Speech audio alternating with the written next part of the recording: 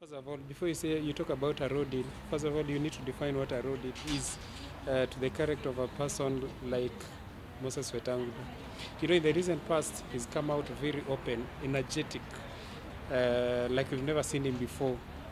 Uh, you know, doing all sorts of those demands and campaign campaigns, and uh, agitating for uh, fair nomination process. In which case, he's determined to be the the coalition's flag bearer, called coalition's flag bearer.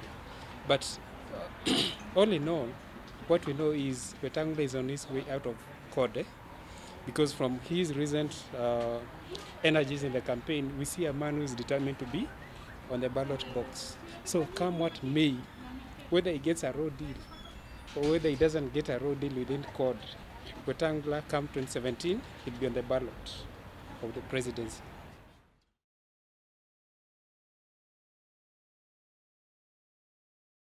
Actually, mm, it can afford based on personal and selfish interests.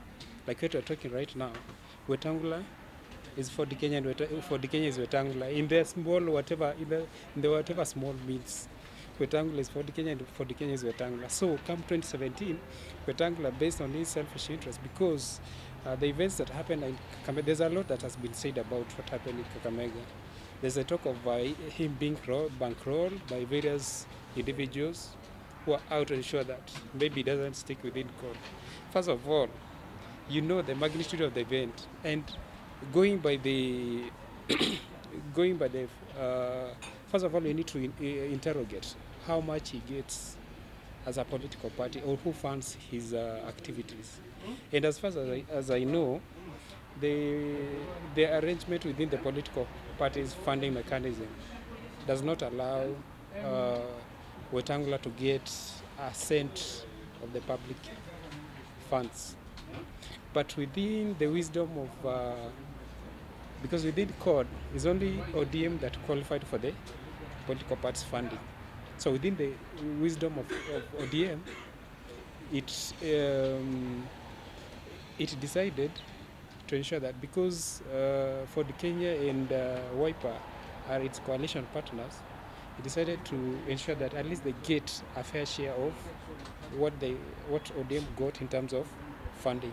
So at least within uh, within that arrangement, Wetangula managed to get something small, but whatever he gets, the little he gets from ODM as a, as a sign of goodwill, cannot uh, cannot afford eh, to fund the event that we saw in Kakamega during his presidential launch. So definitely he could be getting funding from elsewhere. But you see, this is also another problem with the campaign financing uh, act. Sorry, campaign financing act. It doesn't clearly establish the mechanism upon which uh, parties should be held responsible in terms of uh, observing the issues to do with the uh, the funds they receive from outside. So in this case, he could have gotten funds from either CORD rivals or whichever uh, interest groups that he may have.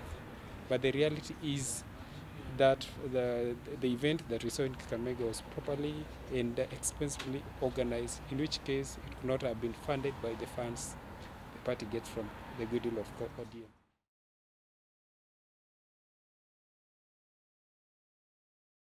Actually, his option is to be on the ballot so that the end result, I think the script has been decided that it should be there so that the the the, the um, the much talked about, you know, this tired thing about Luya unity does not come to, does not materialize.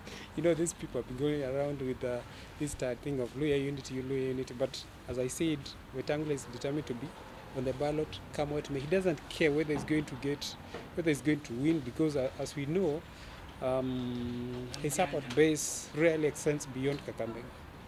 Really, sorry, really extends beyond Bungoma.